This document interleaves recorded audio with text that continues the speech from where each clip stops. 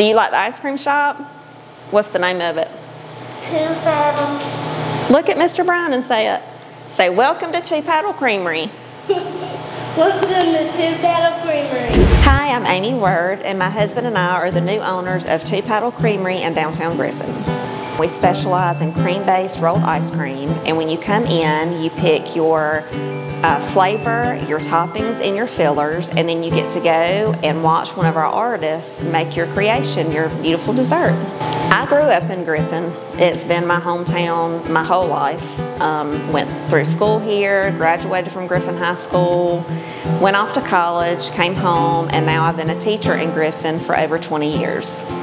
Um, my husband and I have always wanted to own a business like this, and we do catering on the side. And we just have a passion for serving people. And when this came open, we just couldn't pass up the opportunity. It just felt like God had just laid out all the steps for us. And um, we just decided it was time to move on it. We're excited about it. We're excited to bring something into Griffin. We wanted to keep it open. Um, I love this town. I, my children are here, our children are here, and so we just want it to grow and be beautiful. My husband and I have catered for a while, and part of what we love about it is that we can incorporate our whole family into it. And my husband loves to cook. Um, we love to meet new people. And when this came open, we knew that it was something that we eventually wanted to do.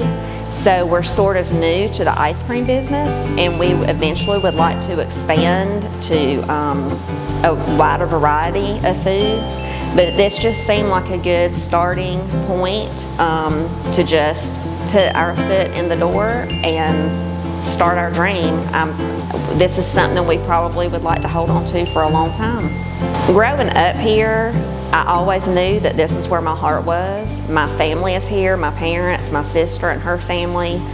Um, I just know that Griffin has always been home to me and it's home to our family and our friends and I just, I love the idea of giving back to Griffin and making it even more of a home, meeting new people, come in and just getting to meet people that I normally, you know, otherwise I wouldn't be able to meet.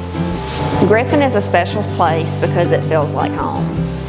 Um, as soon as you start talking to people and meeting people, you realize just how special that the people are, and I think the people are what make it what it is.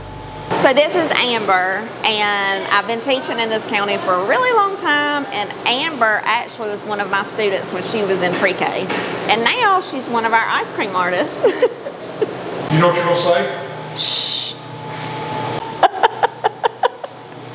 He don't have any sense.